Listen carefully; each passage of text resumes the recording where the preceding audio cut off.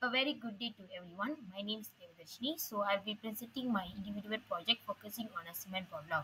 So moving to the next part, which is the objective. So there are four objectives. First one is to provide an overview of the production logging tool, which is cement log, including its features, applications, and technological advancements. Second is to determine the importance of cement bond log in the oil and gas industry. Third is to describe the process of interpreting data collected by the cement bond log. Fourth is to analyze the benefits of using the cement bond log.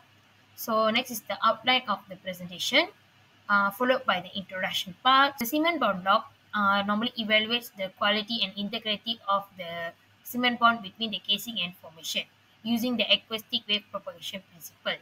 So let's see the basic science behind the CBL, conventional techniques and advancements. So as for the basic science, it uses acoustic wave propagation uh, principle which experiences the reflection, transmission and attenuation as it travels through various materials. So this, this action helps the CBL to evaluate the cement's bonding quality. So as for conventional method, uh, there are two tools. So sonic is normally emits low frequency sound, whereas the ultrasonic emits the higher frequency sound waves. Lastly is the advancement part. So normally the CBL is integrated with variable density log to improve the evaluation of uh, cement bonding.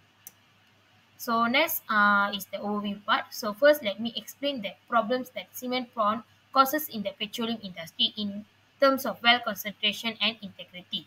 So loss of uh, zonal isolation, casing corrosion and wellbore instability are the example of problems.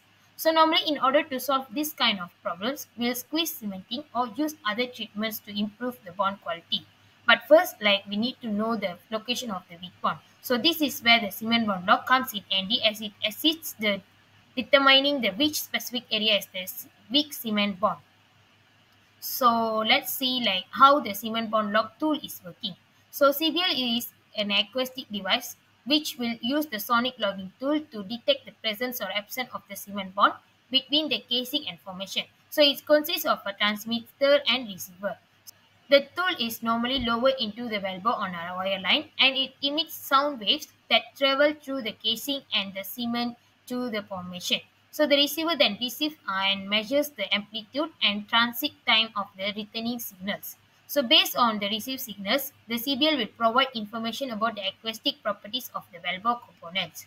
So cement contacting the casing tends to dissipate the signal energy as it travels through the pipe. Next is the CBL measurement principle.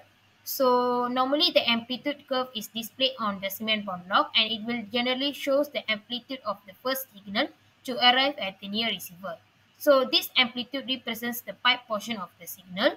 A low amplitude indicates good casing to cement bonding, whereas the high amplitude indicating poor bonding. So next is the current status and technological advancements of the tools. Currently, Cement bond tools are still using for evaluating the bond between casing and cement. Normally for the measurement, uh, it's made by using acoustic sonic or ultrasonic tools. So lastly, as for the industry standard sonic tool measurements are typically displayed in uh, millivolt. And as for the ultrasonic, normally it's expressed in kilohertz. So next is the imaging technologies. So basically, cement bond log is integrated with variable density log. So it will normally provide the standard CBL amplitude, attenuation, and variable density log measurements for evaluating the cement bond quality of a cemented casing in high pressure and high temperature. So following that, receivers create a radial image of a cement bond variation. Other than that, it can be done with the other PS platform software. So it will help to uh, perform the on-site data processing and also prepare for the log presentation. Some of the cement bond logging tools that used by Schlumberger will be covered in the following slide. Moving to technological advancements that for the cement bond logging tools. So basically it's F2 categories. First we look at the acoustic sonic logging tool. The tools are listed here. So basically these six tools are help to evaluate the cement quality and determine zone isolation and also to determine the location of the cement top. So second category is the ultrasonic logging tool. So this tool is helps to evaluate the cement and inspect casing in terms of detecting corrosion, detect internal and external damage, and helps to analyze the casing thickness. So next we'll look the field example of using CBL. So the field will be discussed here is the Raniganj block Durgapur where it's located at uh, West Bengal, India. So as for diagnosis part, they use the cement bond log together with the variable density log to determine the bonding between cement and casing and bond between the cement and formation. So the log shows the microannulus present between the cement formation bonding and indicating it's uh, having a poor bond.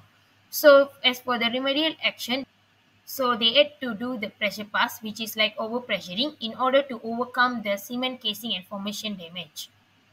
And also it helps to treat the microannulus problem. So basically the diagram below shows the cement bond log with the variable density log uh, before and after pressure pass. Next, moving to the conclusion part. So in summary, it is important to have strong cement bond between the well casing and the formation because to support the casing by shear bonding. Second is in order to separate the producing zones from water bearing zones. Third is to avoid fluid leakage to the surface. Fourth is to maintain wellbore stability and integrity. So these are the references that I use for my project.